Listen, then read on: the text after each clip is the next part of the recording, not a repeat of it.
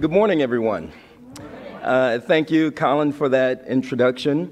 Uh, I'd also like to say thank you to Secretary Castro, who will be joining us shortly, and to HUD for all that they do in public housing uh, across the nation.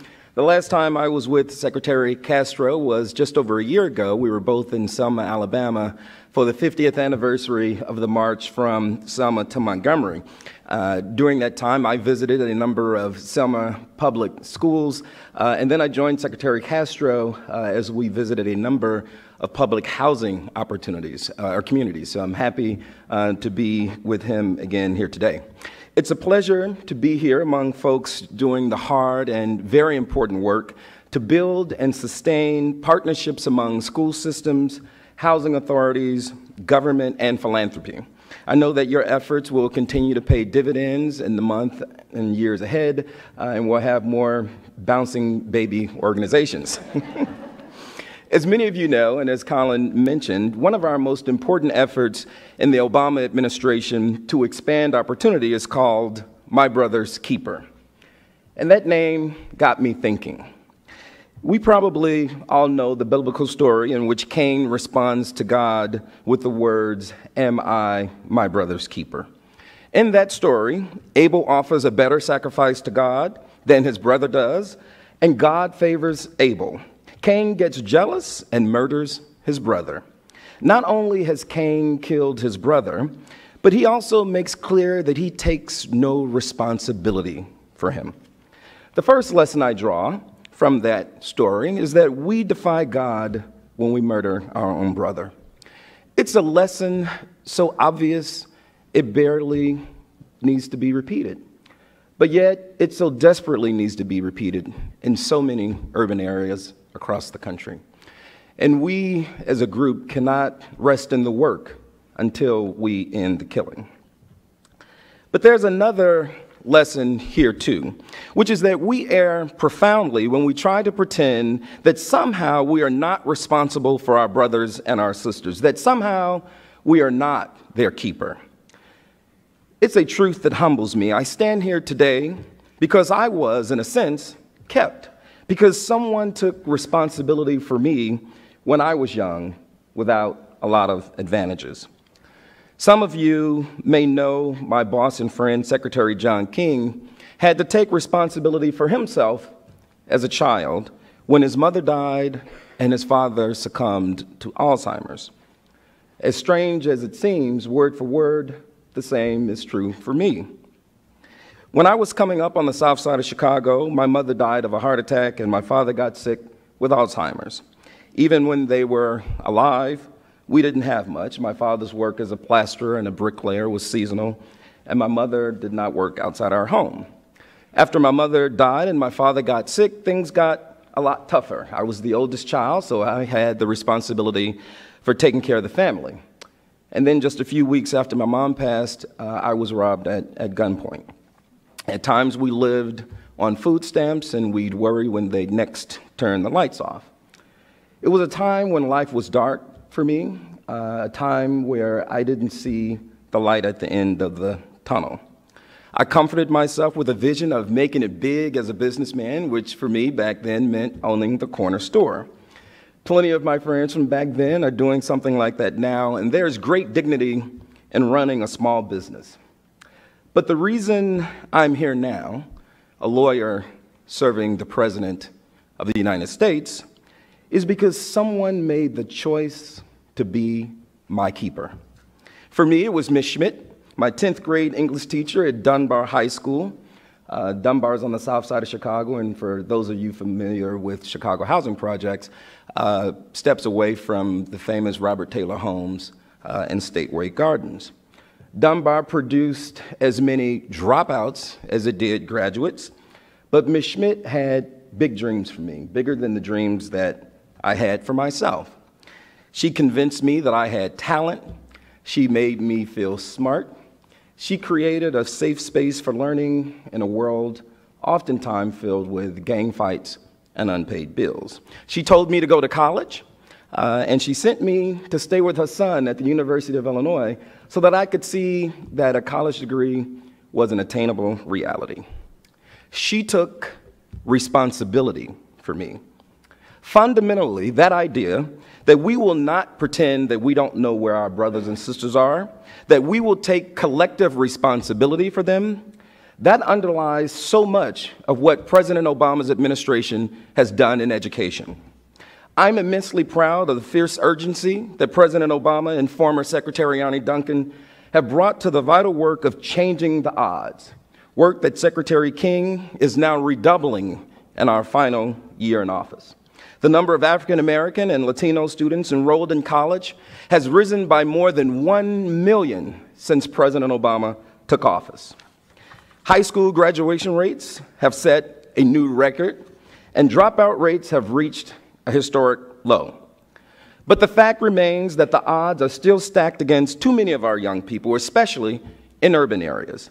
A third of African American and Latino children grew up in poverty, and far too many of our young brothers and sisters attend schools where expectations and discipline policies remain infected with institutional racism. This is especially true for so many of our students facing housing instability, where the challenges are even greater for instance, we know that housing instability causes stress and worry not only for parents, but for students as well, who don't have support systems to rely on or who don't know where to turn for necessary services. All these factors can undermine academic success.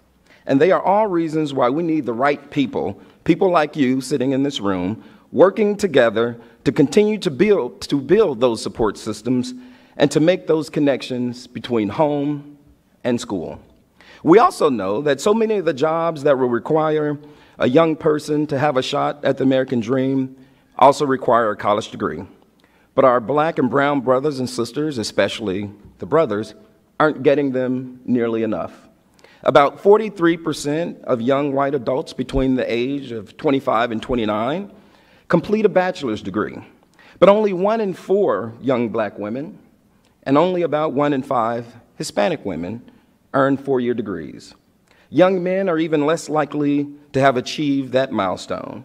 One in six African American young men, one in seven Hispanic young men have earned a bachelor's degree.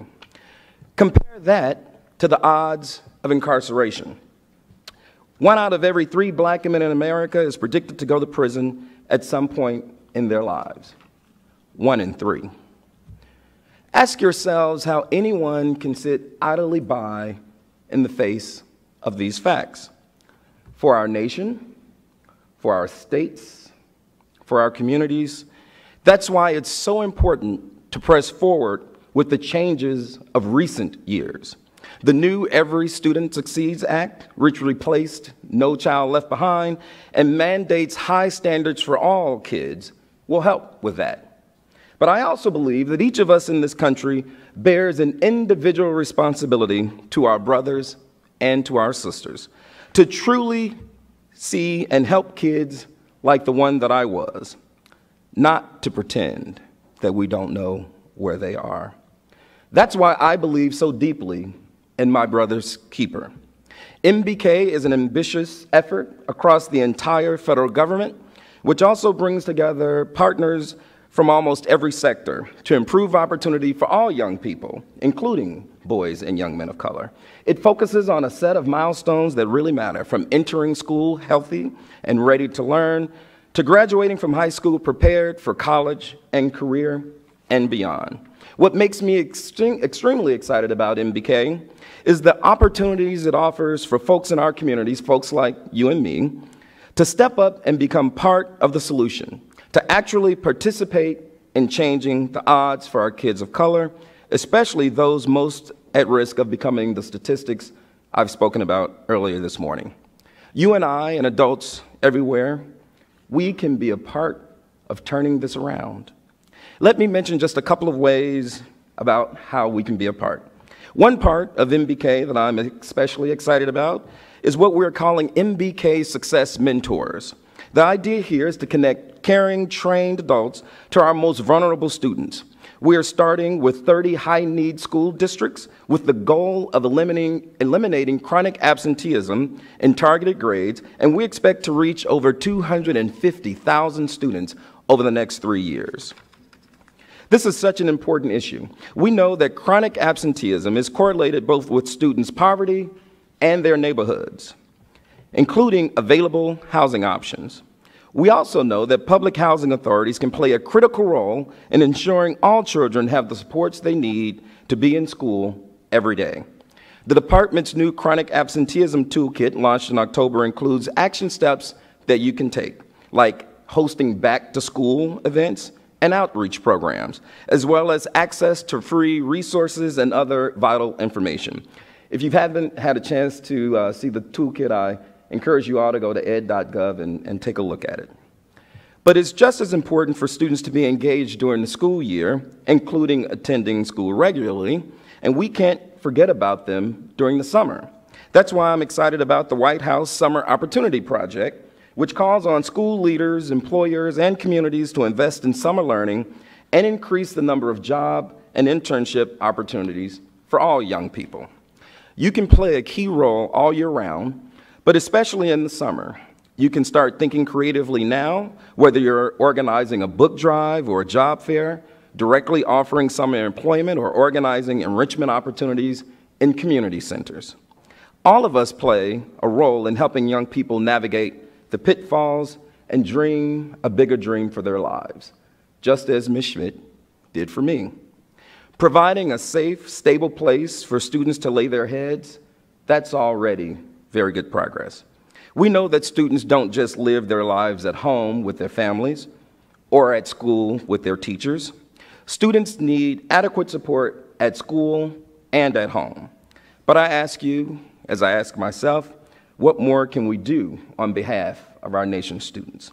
There are several promising examples from across the country, and I'll only mention a couple. Take a pilot program at McCarver Elementary School in Tacoma, Washington.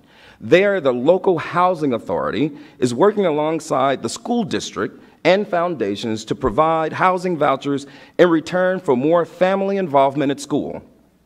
During the first and second years of the program, the percentage of students reading at grade level nearly doubled and remained on par with all McCarver students in year three. Or take a look at the Boulder County Housing Authority, which is working with two local school districts in Colorado. They received a home grant to identify families at risk of becoming homeless and help them set financial and educational goals. Children from participating families are matched with case managers who participate in school meetings, model appropriate behavior for parents, and encourage involvement in their children's schools. These models began as bold ideas that were acted upon. Across the board, the dream of a successful America for all, including low income students and including students of color, requires attention to challenges in housing and in education. Our nation's children need support at home and at school.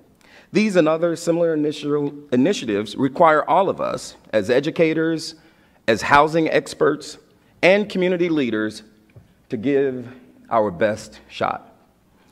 As a nation, as individuals, we know the answer to that ancient question Am I my brother's keeper? Yes, we must all be our brother's keeper. Thank you very much.